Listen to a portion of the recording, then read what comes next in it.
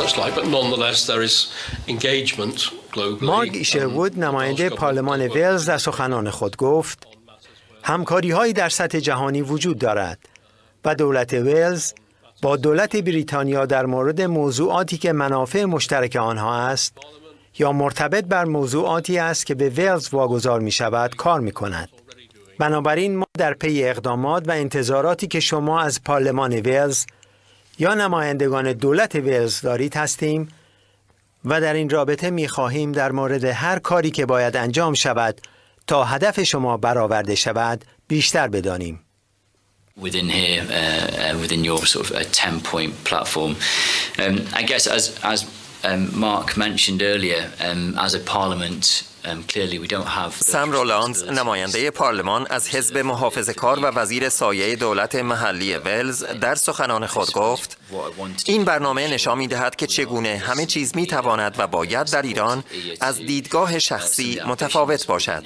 واقعا خوشحالم که برای حمایت از برنامه ده مادهی مقاومت ایران در این کنفرانس حضور دارم و می‌خواهم به شما اطمینان دهم که ما همراه با همکارانمان در پارلمان و دولت انگلستان از خواسته های شما پشتیبانی می کنیم. من می خواهم شما را تشویق کنم که به کارهایی که انجام می دهید ادامه دهید. چرا که برای مردم بسیار مهم است که بشنوند که جایگزینی برای آنچه که بسیاری از مردم در حال حاضر تجربه می کنند وجود دارد. از شما بسیار ممنونم که به ما ارزش آزادی را که ما از آن برخوردار هستیم یادآوری می کنید و برای شما در تلاش برای تغییر اوضاع در ایران بهترین آرزوها را دارم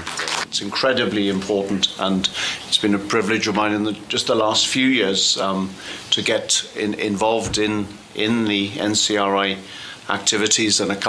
free Iran ویلیام پاول نماینده پیشین پارلمان ولز در سخنان خود ضمن بیان تجربیاتش از آشنایی با مقاومت ایران و حضور در گرد همایی ها و فعالیت های مقاومت ایران در پاریس و دیدار از اشرف سه گفت این اولین کنفرانس تاریخی در این زمینه است. این فوق العاده مهم است و امتیازی برای من بوده است که ظرف چند سال اخیر درگیر فعالیت های شورای ملی مقاومت و چند برنامه ایران آزاد بودم. ویلیام پاول در مورد نقش رژیم در جنگ افروزی ها در منطقه گفت واضح است خشونتی که در حال حاضر در منطقه در جریان است و خشونتی که در اوکراین رخ می دهد مستقیما به رژیم آخوندی مرتبط است. حزب من و هر حزبی که اینجا سنا را نمایندگی می کند به این هدف متعهد است که فشار بر رژیم حاکم بر ایران را حفظ کنیم. من به شورای ملی مقاومت و همچنین انسانهای شجاعی که در سراسر ایران خطرات زیادی را به جا می‌خرند و امید به آینده را حفظ می کنند و این امر را پیش می‌برند ادای احترام می کنم. بسیار از شما متشکرم. جوزف کارتر عضو شورای شهر از حزب لیبرال دموکرات سخنران دیگر کنفرانس در پارلمان ولز بود. وی در سخنان خود گفت رژیم ایران تهدیدی برای آزادی و دموکراسی در جهان از جمله در اینجاست.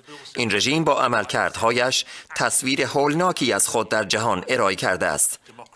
وی افسود اما من بسیار تحت تاثیر شجاعت زنان ایرانی در جریان قیام مردم قرار گرفتم و به همین خاطر هم اینجا هستم تا حمایت خودم را از مبارزه مردم ایران اعلام کنم. و فکر می کنم این فوق العاده است که کشورها در سراسر اروپا و جهان از شما حمایت می کنند و باید تاکید کنم که در اینجا نیز یک حمایت فراحزبی از مردم ایران وجود دارد.